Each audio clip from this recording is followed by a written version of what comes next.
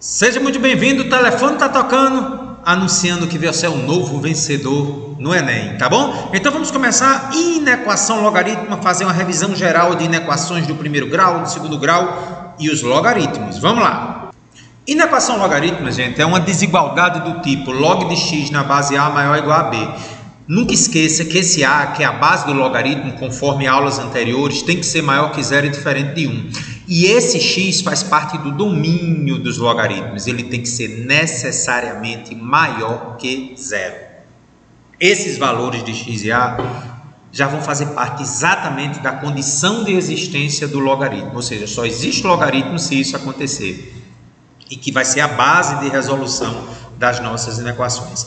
Relembrando exponencial, se a base for maior que 1, e eu tiver log de x1 na base A maior que log de x2 na base A, a desigualdade permanece. Então se ligue, ó, quando essa base é maior que 1, o sinal da desigualdade dos logaritmos também vai acompanhar os logaritmanos aqui. E se essa base estiver entre 0 e 1, aí não tem jeito, gente, muda o sinal da desigualdade, ok? Então vamos ver um exemplo log de x menos 3 na base 2 maior que log de 4 na base 2. Atenção, gente, as bases já estão iguais, então você olha agora só para essa parte aqui do meio que é o logaritmano. Então, como é que fica aí? Ó? x menos 3 maior que 4. E o nosso próximo exemplo, gente, a base é 1 sobre 2, está entre 0 e 1. Então, log de x menos 3 na base 1 meio maior que log de 4 na base 1 meio. Então, me diga aí o que, é que vai acontecer agora?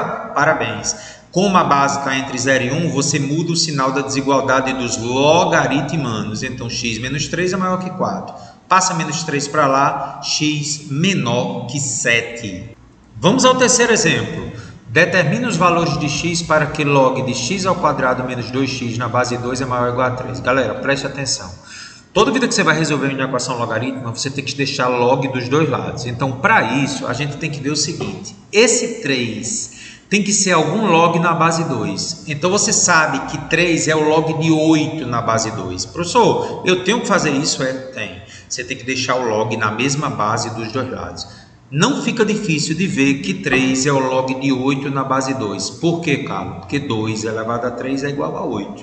Então, primeira coisa a fazer, transformar um número em um log na mesma base. Então, você reescreve sua equação colocando no lugar de 3 o log que na base 2 de 3 é o log de 8 na base 2. Aí você olha para a base agora. 2 é uma base maior que 1. Então, como a base é maior que 1, os logaritmanos permanecem a desigualdade. Então, vai ficar x menos 2x maior ou igual a 8 passa menos 8 para o primeiro membro. Isso aqui é uma, é uma inequação de segundo grau. Quando você faz Bhaskara, você vai achar menos 2 e 4. Aí vamos lembrar. Achando menos 2 e 4, gente, o sinal de x ao quadrado fica extras raízes na nossa aula de inequação de segundo grau. Fica positivo à esquerda do menos 2 e positivo à esquerda do 4. E intra-raiz o sinal contrário. Ele deseja os valores maiores ou iguais a zero. Então ele quer os valores que estão à esquerda de menos 2 e a direita de 4. Agora preste atenção a um detalhe. Qual é? A condição de existência. Cara, como assim? Você sabe que o logaritmano tem que ser maior que zero. Então, ao resolver a equação, você depois tem que fazer a condição de existência. Ou seja, eu tenho que impor também que x ao quadrado menos 2x é maior que zero. Fazendo Bhaskara, encontro 0 e 2 e procedendo exatamente do mesmo jeito, colocando o sinal do x ao quadrado do lado de fora, extras raiz, e o sinal contrário do lado de dentro. Então, gente, eu preciso fazer a interseção da primeira solução com a segunda. Então, juntando as duas interseções, ó, a primeira com a segunda, faz a interseção para eu satisfazer o que a questão quer. Então a resposta que eu vou ter vai ser x pertencente aos reais, tal que x seja menor ou igual a menos 2, que é a região comum às duas soluções, e essa outra região x maior ou igual a 4. Então a questão que tem que estar ligado, tá bom? Então vamos fazer agora, gente, uma série de questões muito interessantes que servem como uma revisão geral de inequação, logaritmo. Então vamos lá os exercícios? A nossa primeira questão diz o seguinte: seja a função com domínio menos 1 em 1, intervalo aberto, até os reais, que é o contradomínio. E é definida por f de x é o log de 1 mais x sobre 1 menos x, no logaritmano, na base 10. Então, os valores de x para os quais essa função aí seja menor que 1 são todos os valores que estão no domínio de f e são menores que menos 9 sobre 11, maiores que menos 9 sobre 11, menores que 9 sobre 11 ou maiores que 9 sobre 11. Carlos, para fazer essa questão, a primeira coisa a gente é falar um pouquinho da condição de existência. Por que, é que o domínio é entre menos 1 e 1? Olha o que eu escrevi. Devemos notar que o domínio da função corresponde à sua condição de existência, certamente, porque domínio é exatamente o critério para que exista a função. Então é a sua condição de existência. Assim, quando foi dito no enunciado que a função tem domínio menos 1 em 1 nos reais, já está implícito para você, aluno, que a condição de existência corresponde a esse intervalo que faz parte do domínio. Em outras palavras, se você fizer a condição de existência do logaritmo, dizendo que o logaritmano 1 mais x sobre 1 menos x seja maior que zero, você encontraria esse domínio aqui. Eu vou deixar isso como exercício, tá? Então, como é que eu resolvo uma inequação quociente do primeiro grau? Está lá na nossa aula de inequação do primeiro grau. Em outras palavras, a condição de existência já é uma das partes da solução. Estaria entre menos 1 e 1, intervalo aberto. Ok, cara. O enunciado deseja o quê? Que essa função aí, log de 1 mais x sobre 1 menos x na base 10, seja menor que 1. O que é que eu vou fazer, gente? Esse 1 aqui eu tenho que escrever na mesma base do logaritmo. Lembra do nosso exemplo? Então eu vou escrever 1 como log de 10 na base 10. Aí eu pergunto a você, as bases são iguais e maiores que 1. Então, a desigualdade do logaritmano permanece. Então, eu vou escrever que 1 mais x sobre 1 menos x é menor que 10. Passo 10 para o outro lado, porque a gente sabe que tem que ficar zero do lado direito. Ficou 1 mais x sobre 1 menos x menos 10 menor que zero. Vou tirar o mínimo aqui do lado esquerdo, gente, que é 1 menos x. 1 menos x por 1 menos x é 1, vezes 1 mais x, menos 1 menos x dividido por 1 dá 1 menos x, vezes 10. Olha o menos do lado de fora menos 10 que multiplica 1 menos x. Vamos ajeitar, né, gente? Fica 1 mais x, menos 10 vezes 1 dá menos 10, menos com menos dá mais 10x, dividido por 1 menos x. Então, a parte de cima vai ficar x mais 10x, 11x, 1 menos 10 menos 9. Ou seja, 11x menos 9 dividido por 1 menos x é menor que zero. Como é que eu resolvo essa inequação quociente? Vamos lembrar? Estudo do sinal, né? Então, pegando o numerador, igualando a zero para achar a raiz. 11x menos 9 igual a zero, passa menos 9 para o outro lado, a raiz é 9 sobre 11. Qual é o sinal de x? Positivo. A direita fica positivo e, a esquerda sinal contrário. A parte de baixo, 1 menos x igual a zero, x igual a 1. 1 é raiz. Aí lembre, lembre, qual é o sinal de x? Negativo. A direita negativo, a esquerda positivo. Faz agora joguinho de sinal, porque em equação quociente ou produto, a gente faz jogo de sinal. Menos com mais dá menos, mais com mais dá mais e mais com menos dá menos. Então, como ele quer os valores menores que zero, vai ser a esquerda de menos 9 sobre 11 e a direita de 1. Portanto, gente, agora fazendo a junção das duas respostas, a primeira, essa que a gente acabou de fazer, a esquerda de 9 sobre 11 e a direita de 1, e a condição de existência. Lembra o domínio entre menos 1 e 1. Aí eu vou fazer agora a interseção, porque eu tenho que resolver, tenho que satisfazer as duas condições. Fazendo a interseção entre eles, o resultado ficará entre menos 1 e 9 sobre 11, que é a resposta. Solução x pertencente aos reais, tal que menos 1 menor que x, que é menor que 9 sobre 11. Então, letra C, os valores menores que 9 sobre 11. Ei, Carlos, gostei da questão, viu? Gostei. Segunda questão, gente. A solução da inequação logarítmica. Log de x na base 1 meio, mais log de x menos 2 também na base 1 meio, é maior que menos 3. Então, como é que a gente vai fazer essa questão? Então, vamos lá, galera. Inicialmente, a primeira coisa que a gente tem que fazer é colocar esse menos 3, que é o número, na base, na forma do logaritmo da base de 1 meio. Ou seja, devemos encontrar o valor de y tal que. Então, em outras palavras, eu tenho que escrever menos 3 como um logaritmo de base 1 meio. Então, log de y na base 1 meio é menos 3. Ou seja, eu quero saber qual é o valor de y que colocado na base 1 meio dê menos 3. Então, lá vou eu. y é igual base elevada ao resultado. 1 meio elevado a menos 3. Lembra da condição do logaritmo, a propriedade. Só que o meio elevado a menos 3, eu posso inverter um meio e escrever 2 com a base positiva. 2 ao cubo é 8. Em outras palavras, para dar menos 3, eu tenho que ter o log de y, que é 8 na base 1 meio. Eu substituo menos 3 por log de 8 na base 1 meio. Mais uma vez, eu só posso resolver em equações quando eu tenho todas as parcelas com log na mesma base.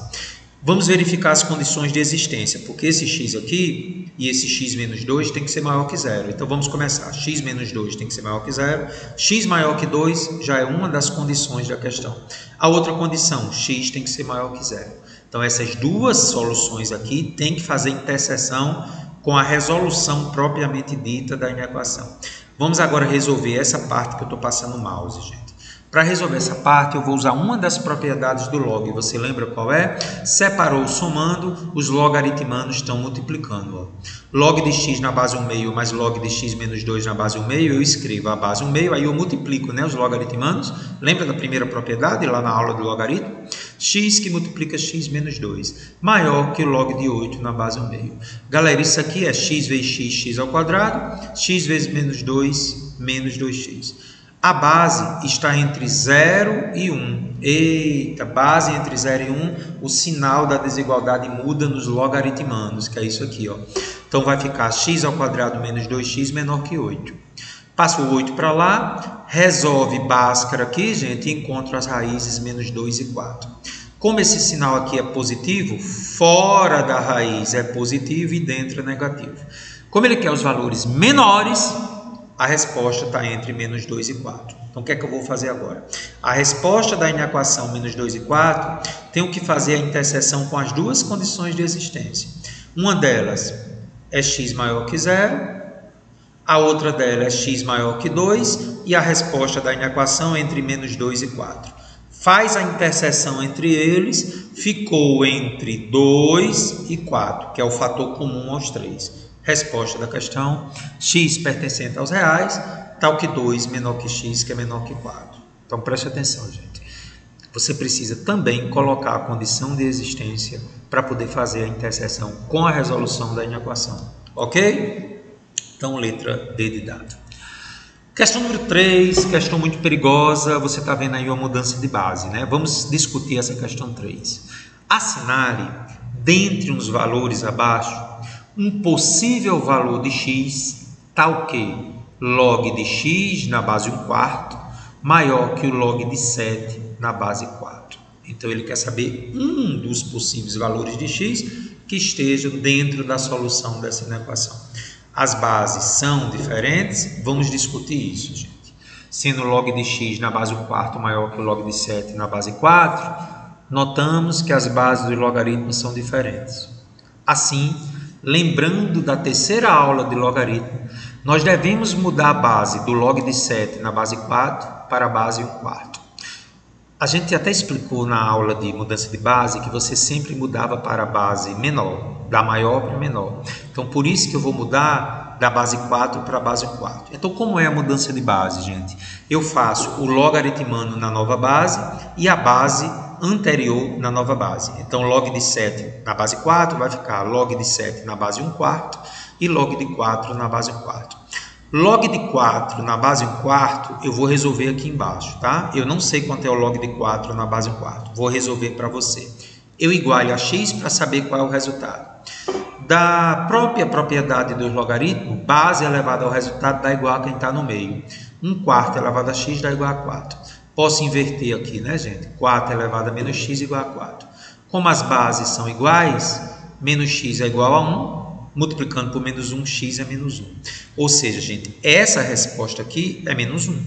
Então, log de 7 na base 4 vai ficar log de 7 na base 1 quarto dividido por menos 1. Mais com menos dá menos, então log de 7 na base 4 é menos log de 7 na base 1 quarto. Mas olha que interessante. Você está vendo esse menos 1 aqui? Isso a gente fez isso numa das questões lá do logaritmo. Com esse menos 1 está aqui, gente, eu vou passar ele para o expoente aqui do logaritmano. Né? Esse menos 1 passa subindo, aquela terceira propriedade é o inverso.